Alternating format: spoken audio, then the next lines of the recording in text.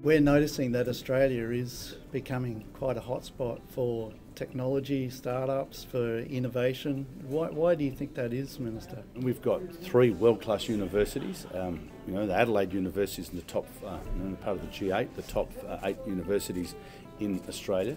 Um, and we have a, you know, a world-class connection with international students, some 35 to 40,000 international students a year coming to South Australia and to Adelaide. And so we're very keen to see that grow.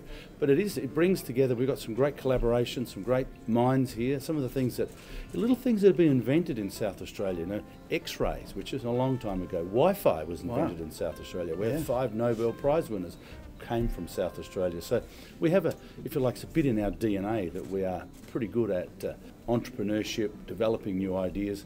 And of course, we have uh, a huge investment in the defence sector coming into our state by the federal government, which defence in itself is a specialised industry, but there'll be a huge amount of technology that needs to be developed in this state to underpin that defence investment. So I think we're, you know, we're a little bit of a hotspot here at the moment and we're looking forward to maintaining that uh, spot in Australia.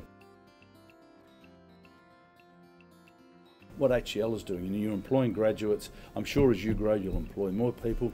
In South Australia, we've very much looked forward to setting up an office here and, and bringing in young people from the universities and, and looking for innovation out of the local market. You know, we have been noticing that our customers in Australia and also in New Zealand are very willing to pick up on innovation early on. Um, and I think it comes from Australia being small, somewhat remote.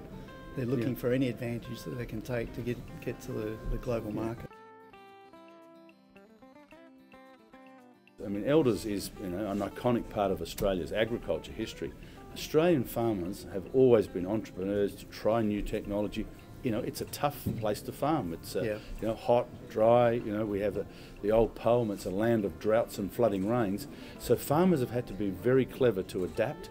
Yep. And then the next level of adaptation will be technology. And Elders is at the forefront of that. So the partnership with HCL and Elders, I think, is, is a fabulous uh, partnership. And I'm looking forward to that growing even more. Yeah, as are we.